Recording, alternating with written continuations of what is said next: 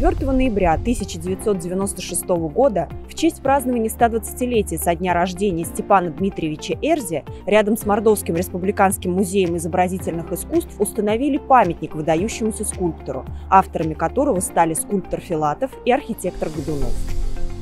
Бронзовая скульптура покоится на невысоком гранитном постаменте.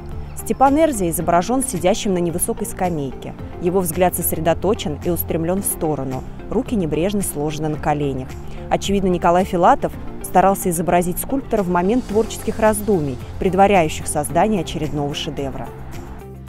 Степан Дмитриевич Нефедов родился в 1876 году в селе Баево Алаторского уезда Симбирской губернии.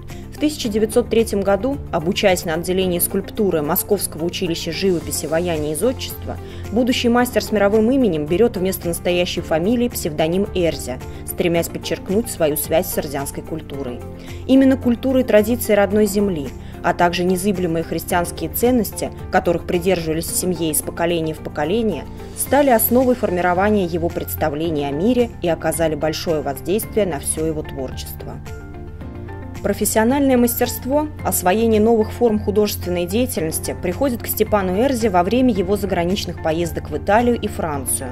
В это же время при создании своих шедевров скульптор активно развивает концепцию человека чувствующего, рожденную искусством рубежа 19-20 веков – Высшей ступени развития творчество Степана Эрзи достигло в годы пребывания скульптора в Аргентине. За долгие 23 года он не только совершенствовал прежние мотивы в своих работах, но и придал им новые качества, что говорит о профессиональной зрелости автора. Заслуга Степана Дмитриевича Эрзи в развитии мирового художественного искусства поистине велика.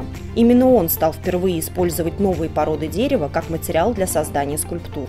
Его творения покоряют не столько точностью передачи физиологических особенностей строения лица, сколько высокой степенью отображения психологического портрета натуры.